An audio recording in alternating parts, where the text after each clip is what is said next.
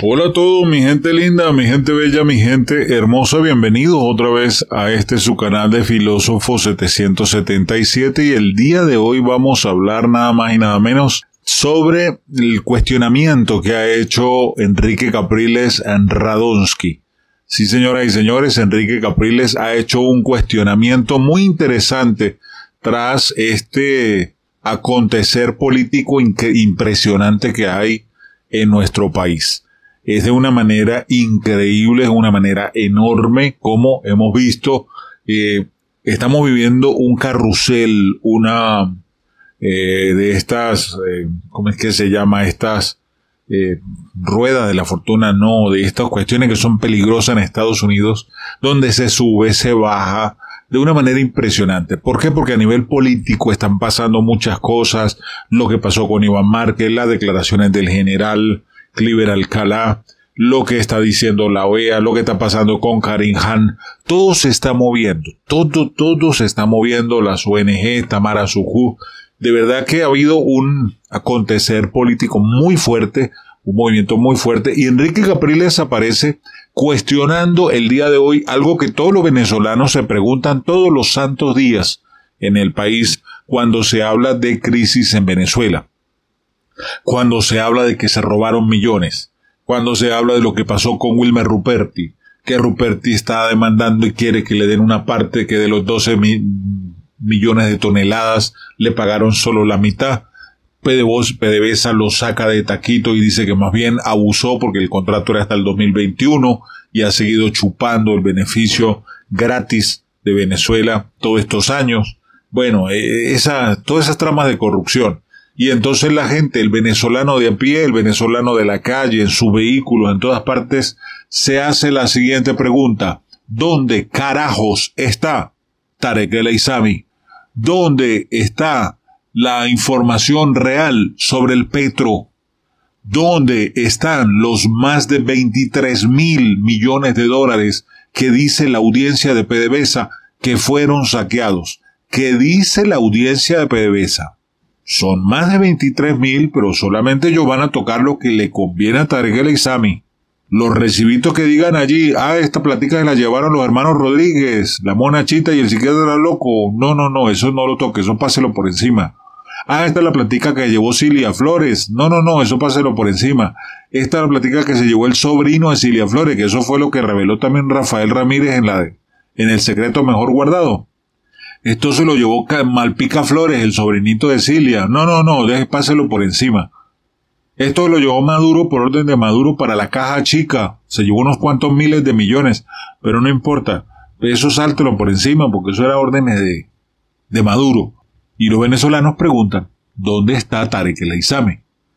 Enrique Capriles Radonsky, candidato a, la, a las primarias de la oposición, cuestionó a Nicolás Maduro el día de ayer, 6 de julio, por el paradero de Tarek el Aizami, el capo, quien ocupó cargos importantísimos dentro del régimen y quien además se posicionó como uno de los hombres de su más entera confianza, hablando de Maduro. El dirigente político preguntó qué ha ocurrido también con el criptoactivo Petro, que según ha sido publicada recientemente en las noticias de la agencia internacional Bloomberg, el régimen estaría decidiendo eliminarlo luego de que se descubrió que se utilizó fuertemente para afianzar la corrupción de PDVSA en la que Tarek El y Jocelyn Ramírez salieron involucrados y Jubel Roa.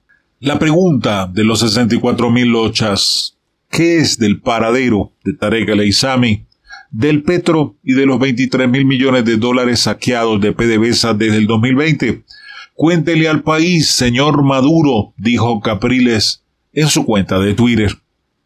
El también ex candidato presidencial aseguró que con esa cantidad de dinero saqueada a la estatal venezolana se habría pagado el incremento tres años consecutivos del salario mínimo y de las pensiones. Desde antes de que se destapara el caso de corrupción, Tarek El se mantuvo en silencio hasta que, hasta que envió su renuncia por un tuit algo que es ilegal, antiético, absurdo, inconstitucional y como lo quieran llamar.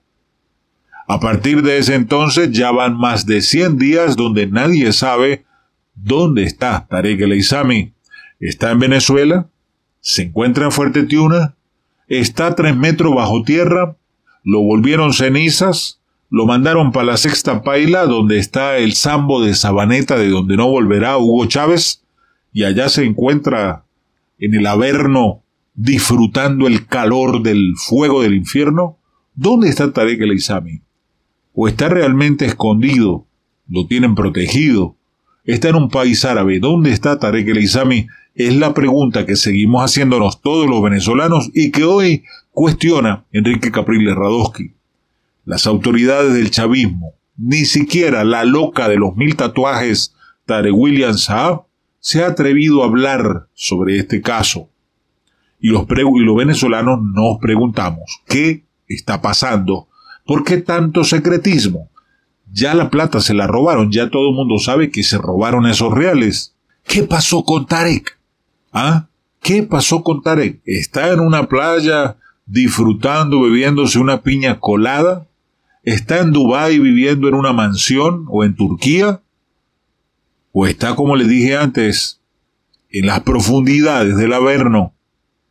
¿Dónde está Tarek el examen? ¿Qué dicen las redes sociales a lo que ha dicho Capriles? Gambino9282 dice, por fin un comentario decente. Eso es lo que hay que hacer. Cada vez el gobierno lo que lanza son potes de humo. Hay que recordar todo lo que ellos se robaron y el daño que ellos han hecho. Aleja W dice, ¿y tú que no tuviste bolas de reclamar tus derechos y las del pueblo en las elecciones?